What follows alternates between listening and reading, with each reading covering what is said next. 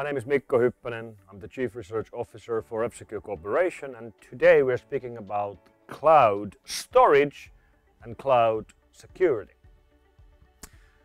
And almost all of us use cloud storage in one way or another. We use photo sharing sites or file storage sites or cloud storage sites. And in general, people didn't really think much about the security implications. But then some of these big news really made people wake up. Like for example, the infamous hacking of celebrity photos, where several Hollywood stars had their private photos stolen. Photos which they had taken with their mobile phones, but which were actually stolen from their cloud storages, as very many phone models today will automatically either send your photos to a cloud storage service or make a backup to a cloud storage. So how were these files stolen from these celebrities' cloud storages? Well, it was social engineering in most cases. So they figured out a way to either reset the cloud password of the user or just guess the password if it was something which is easy to guess, or went through the password recovery process which asks questions. And if you are a celebrity, it's fairly easy to find lots of details about you, including where you were born, what was your mother's maiden name, and what was the first school you went to. And if the security questions are based on questions like that, it's no surprise that their photos get taken. So does that mean that we all should be worried about hackers stealing our photos? Well, not really. You really have to be a celebrity for someone to really, really want to come after your photos, or there has to be some other reason why somebody's really after you. I mean, maybe you are a teenage girl and you're the prettiest girl in the class. It's possible that some of the other people would be interested in stealing your private photos. But you have to be someone who is interesting to attackers. 99% of the people will never receive a targeted attack like that.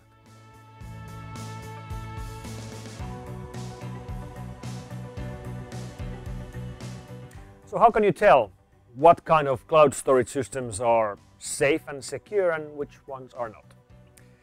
Well, first of all, there's tons of different cloud vendors. If you're getting a storage solution from a startup you've never heard of before, you could assume that they probably aren't experts in security because startups typically just try to survive and make their main product as good as possible as quickly as possible and then security comes as an afterthought. So aim for big vendors or security aware vendors and companies which have been around for quite a while.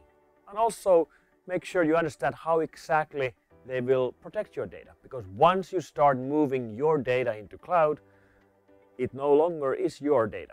It's now the cloud storage provider's data, and you have to blindly trust what they tell you. If they tell you it's encrypted, you don't really know that. You just have to trust them. If they tell you it's backed up, how do you know? You just have to trust them. So choose your cloud providers carefully.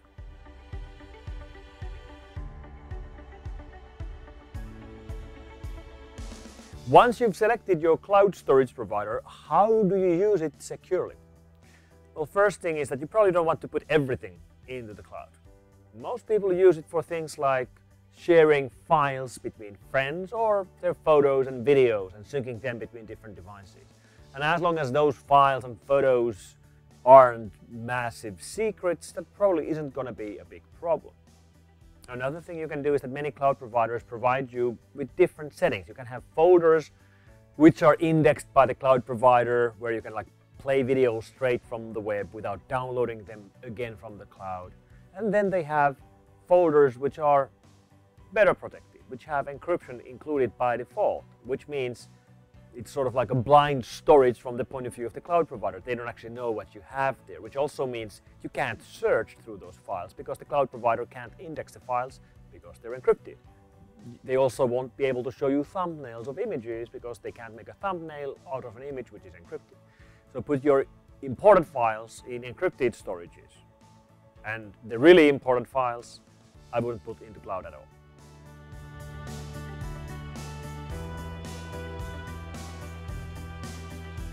Cloud storage providers provide um, strong authentication or two-step authentication with things like SMS verification sent to your mobile phone or using authenticators like the Google Authenticator or the DuoSec Authenticator. And this is a great idea. It, it does really improve the security of these storage solutions. And many of them are so easy to use that it doesn't really actually make using these uh, solutions much harder at all. There's a little bit of extra work involved whenever you have to start syncing to a new device, like a new tablet.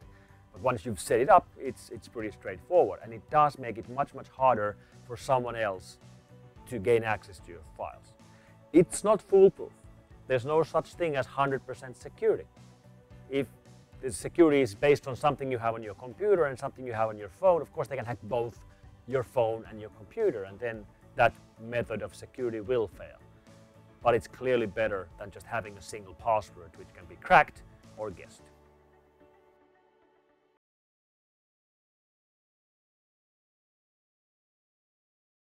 And then we have Edward Snowden. Edward Snowden who has shown us that countries like the United States are in the real world aggressively using their rights to look at the data of foreigners when foreigners use American services like American cloud storage services. So what does that actually mean for us foreigners? Well, frankly, it means that it would be stupid for us non-Americans to use American cloud storage services when we know that the American government has a legal right to look at our data and keep our data forever if we store it into US-based systems. And when they're doing that, they're breaking no laws. We are voluntarily giving our files to foreign intelligence agencies. So should we be doing that? Of course we shouldn't. However, that's much easier said than done. Because most of the cloud storage services you see, most of the cloud storage services that are being advertised, and especially almost all of the so-called free cloud storage services are in the United States. So it's very easy for me to say that you should aim to use cloud storage services in your own country, under your own jurisdiction, or at least in Europe. Doing that in practice actually takes effort and work. Thank you very much.